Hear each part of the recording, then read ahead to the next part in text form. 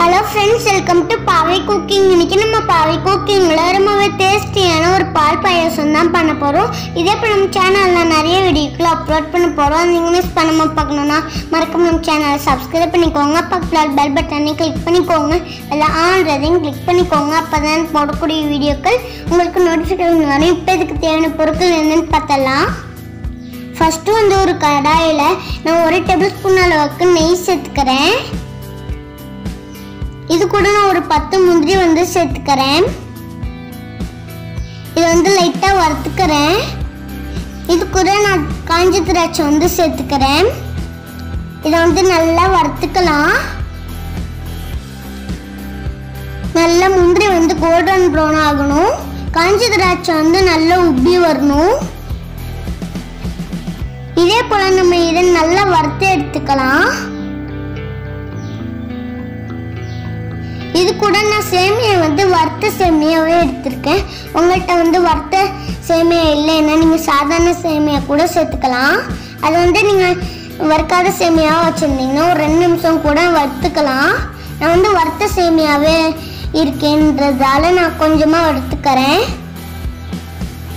வறுத்துட்டு நான் இதை வந்து எடுத்து ஒரு பிளேட்டில் வச்சுக்கிறேன். அதுக்கப்புறமா ஒரு பாத்திரத்தில் நான் அரை லிட்டர் அளவுக்கு பால் சேர்த்துக்கிறேன். பால் வந்து நல்லா பொங்கி வரட்டும். பால் வந்து நல்லா பொங்கி வந்ததுக்கு அப்புறமா நம்ம வறுத்து வச்சிருக்கிற சேமியா வந்து சேர்த்துக்கலாம். சேமியா வந்து சேர்த்துட்டு நல்லா கலந்து விட்டுக்கலாம். அது வந்து ஒரு அஞ்சு நிமிஷம் வரைக்கும் நல்லா வேகணும். சேமியா வந்து பாலோடய நல்லா வெந்துச்சுன்னா டேஸ்ட் வந்து சூப்பராக இருக்கும்.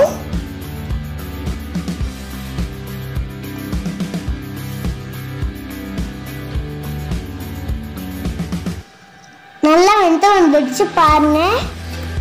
இது வந்து நல்லா வெந்துடுச்சான்னு செக் பண்ணுறதுக்கு இந்த சேமியாலாம் பாதி எடுத்து இந்த மாதிரி கையில் பிச்சு பாருங்க. அது வந்து நல்லா பிஞ்சு வந்துடுச்சுன்னா அது வெந்துடுச்சுன்னு அர்த்தம். இது வந்து நைன்டி பர்சன்ட் அளவுக்கு வெந்துடுச்சுன்னா இது கூட நம்ம ஜீனி சேர்த்துக்கலாம். ஜீனி வந்து உங்கள் டேஸ்ட்டுக்கு கொஞ்சம் கூட குறைச்சி கூட சேர்த்துக்கலாம். ஆனால் கொஞ்சமாக ஜீனி பாயசத்துக்கு வந்து அதிகமாக சேர்த்தா டேஸ்ட் வந்து சூப்பராக இருக்கும். நான் வந்து சேர்த்துட்டு நல்லா கலந்து விட்டுக்கிறேன். இது கூட கொஞ்சமாக ஏலக்காய் தூள். இது வந்து நல்லா கலந்து விட்டுக்கலாம்.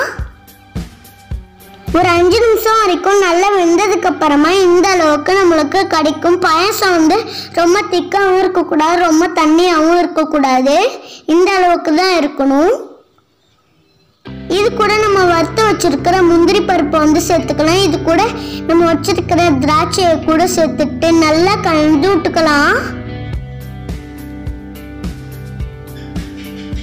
இதே போல நல்லா கலந்து விட்டுக்கலாம். அவ்வளோதான் நம்மளோட டேஸ்டியான பால் பாயசம் தயாராகிடுச்சு இதை வந்து நம்ம எடுத்து பரிமாறிக்கலாம். இது வந்து நீங்கள் டேஸ்ட் பார்த்தீங்கன்னா ரொம்பவே டேஸ்ட்டாக இருக்கும். வீட்டில் ஏதாவது ஃபங்க்ஷன் இருந்துச்சுன்னா நீங்கள் நிச்சயமாக இதை செஞ்சு பாருங்கள் ரொம்பவே டேஸ்ட்டாக சூப்பராக இருக்கும். இந்த வீடியோ உங்களுக்கு பிடிச்சிருந்துச்சு நாளைக்கு பண்ணுங்கள் கமெண்ட் பண்ணுங்கள் உங்கள் ஃப்ரெண்ட்ஸோட ஷேர் பண்ணுங்கள் மறக்காமல் சப்ஸ்கிரைப் பண்ணுங்கள் பக்கத்தில் பெல் பட்டனையும் கிளிக் பண்ணுங்கள் அதில் ஆல்ரெடி கிளிக் பண்ணுங்கள் அப்போ தான் நான் போடக்கூடிய வீடியோக்கள் உங்களுக்கு நோட்டிஃபிகேஷன் வரும். இந்த வீடியோ டைப் பண்ணிட்டு உங்கள் ஃபீட்பேக்கை நம்ம கமெண்ட் செக்ஷனில் சொல்லுங்கள் நன்றி ஃப்ரெண்ட்ஸ் பாய் தேங்க்யூ ஃபார் வாட்சிங்